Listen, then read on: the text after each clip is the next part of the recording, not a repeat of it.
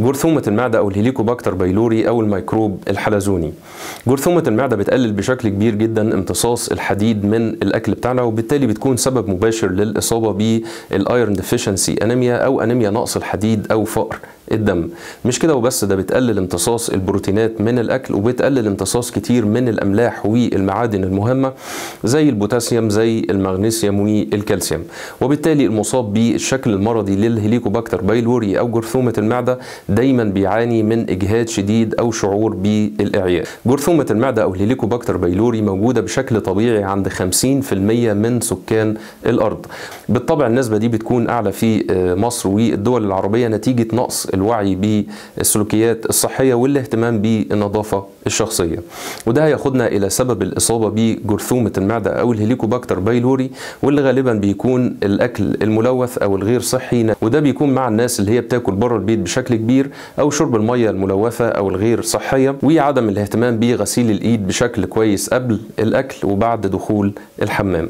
أعراض الإصابة بجرثومة المعدة بتتراوح من أعراض خفيفة زي ألم في المعدة وحرقان شعور بالغثيان وميل للقيء فقدان للوزن وشعور بالإجهاد والإعياء وشعور بالانتفاخ. الأعراض البسيطة دي ممكن تتطور إلى أعراض أكثر خطورة زي الإصابة بقرحة المعدة والإثنى عشر ووجدوا أن 90% من المصابين بقرحة المعدة عندهم ال Helicobacter pylori أو جرثومة المعدة.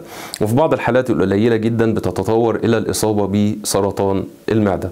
لما بنبدأ نشتكي من الأعراض دي بنروح لطبيب البطنة بيطلب مننا تحليلين لجرثومة المعدة التحليل الأولاني هو عبارة عن تحليل المريض بياخد فيه حباية يوريا بيمضغها وبعدين بينفخ في كيس.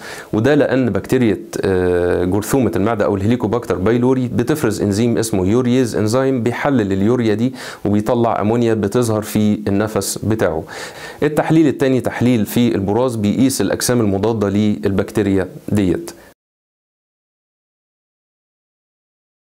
الحاجة الأولانية هي تنظيم الأكل بتاعنا وتنظيم الأكل ده بينقسم إلى جزئين مجموعة من الأكل هنتجنبه ومجموعة تانية من الأكل هنكون حريصين عليه. الأكل اللي هنتجنبه هو عبارة عن الأكل الدهني أو المحتوى الدهني بتاعه عالي الأكل اللي فيه حاجات حراقة زي الشطة والفلفل مشروبات زي القهوة والشاي والمشروبات الغازية زي البيبسي وكوكاكولا. وبالطبع لازم نتجنب التدخين بكل الأشكال بتاعته زي الشيشة والسجاير والسجاير الإلكترونية. على العكس من الأكل اللي هنتجنبه ده في مجموعة تانية من الأكل بتساعد مفعول الدواء بتخلي تأثير الدواء أقوى وأكبر بشكل كبير جدا. حاجات زي الخرشوف والبروكلي لأنها بتحتوي على مركبات السلفر اللي ليها تأثير قوي جدا مضاد للبكتيريا.